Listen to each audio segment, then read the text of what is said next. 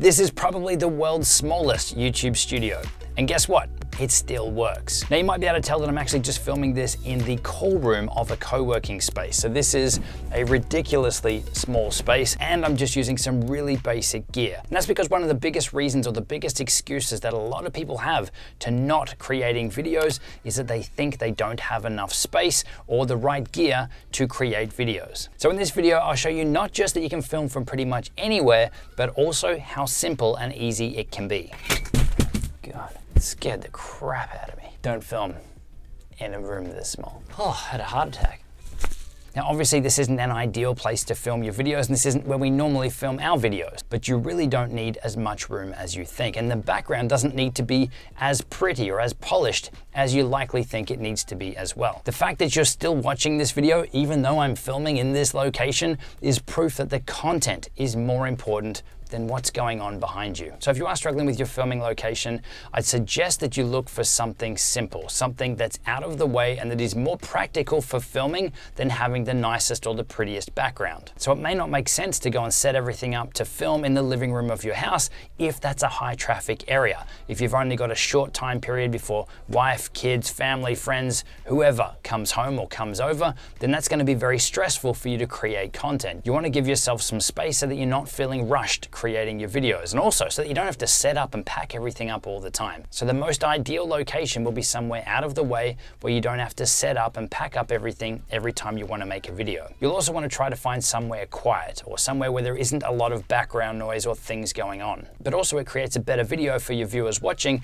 because the audio is better. They're going to be able to hear you better or understand what's going on without there being a ton of background noise and kids playing in the background or whatever it might be. Now the most ideal location as well will be something that matches the types of videos you're making. So there's no point filming a cooking video in a gym, unless that's the types of videos you actually want to make. It makes more sense for you to be doing a cooking video in the kitchen, right? So you want to make sure that your background or the scene that you're filming in does match the videos you're creating wherever possible. But if that's something that isn't possible for you, then filming in front of just a plain white wall is going to be much better than you trying to set something up and going over the top and procrastinating and they're not making videos anyway, or overcomplicating everything so that it is a massive chore for you to create your videos. But the big thing to remember here is that simplicity is really important. If you keep things simple and just focus on the content and creating videos, not procrastinating and waiting until you've got the best camera, the best background, or a quiet day where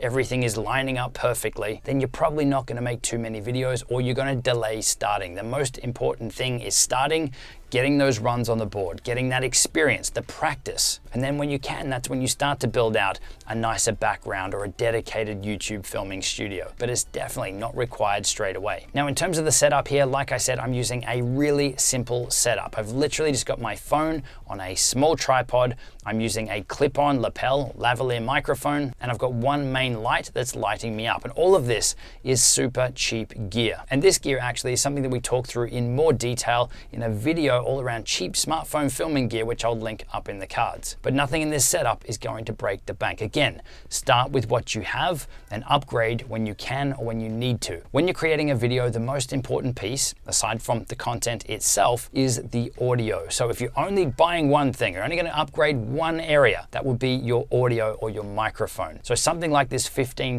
Boya BYM1 microphone now is probably all you're going to need. It's what we started with with our YouTube channel and still use a lot today. Next to that then would be your lighting so that your viewers can hear you and see you good enough. And for this setup here, instead of having the light shining straight on me, I'm actually having it shoot back against the wall and it's reflecting on me. So it's actually a bit of a softer light as well. But again, all cheap and super simple. I'm also just using a really basic, small, flexible desktop tripod just to really hold the phone in position so I'm not having to hold it myself, which also means it's a more stable, more professional looking shot. Now again, if you don't have a tripod, you could use whatever you've got access to.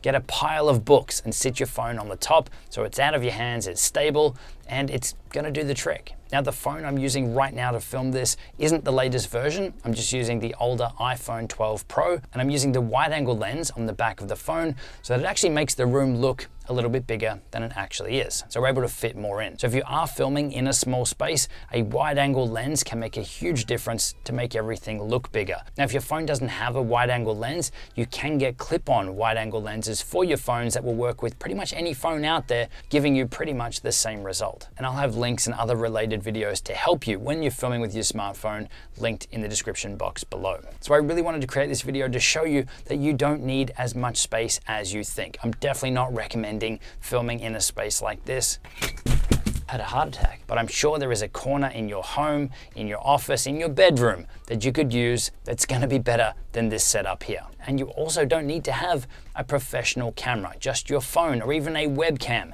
is going to be more than enough. So now that you've got your YouTube setup sorted, setup sorted, that's a mouthful. If you wanna learn how to structure your videos for maximum engagement so that your viewers are sticking around watching your videos, then check out the video linked on screen where we show you how to make a good YouTube video. And again, don't forget the links to everything I mentioned in this video and other tools and resources to help you with this are all in the description box below. I'll see you in the next one.